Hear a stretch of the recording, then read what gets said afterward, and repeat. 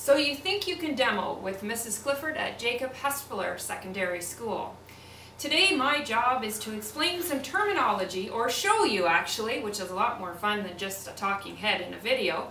I'm going to show you some demonstrations involving two terms in the uh, thermochemistry unit, endothermic and exothermic. And then, not only am I going to show you those demonstrations, then I'm going to help show you how you can put it into thermochemical equations. So let's get started. So for my first demonstration, I have a very exciting beaker of water here. It's, well, let me ask my audience what they think of the temperature of the water. It's room temperature. Not too cold, not too warm, just right.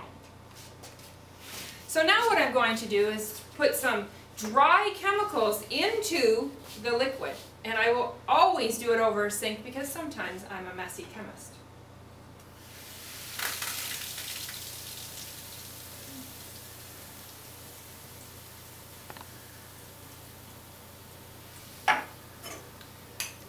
Then what I'll do is go back to my audience once I dry the bottom here, and then just let the reaction finish here.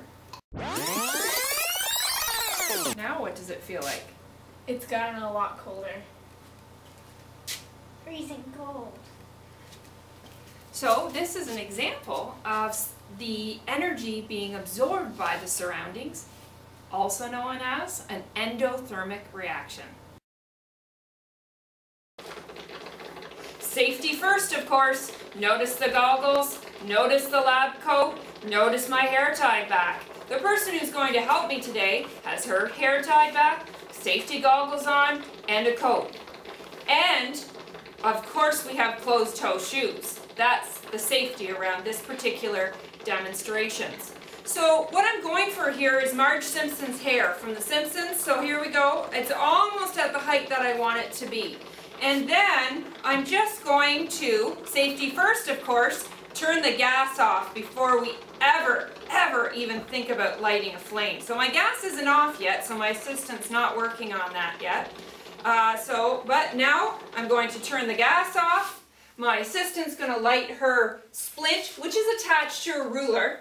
And so, um, and she's going to get a good distance away, an arm length away. And my other assistant's going to turn the lights off. And here we go. Woohoo!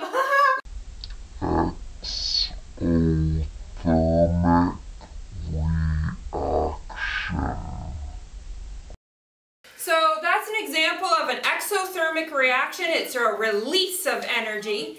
In a thermochemical reaction then, if we're going to put things into the reaction, actually into the equation, if your house was on fire, you would exit the building or exit the house. So when we're talking about putting energy into a thermochemical reaction, we put it on the product side or the exit to the reaction. If we're talking about an endothermic reaction then, we're going to put it on the reactant side. So these are my two demonstrations. One obviously a little more exciting than the other. We had our endothermic and our exothermic reaction.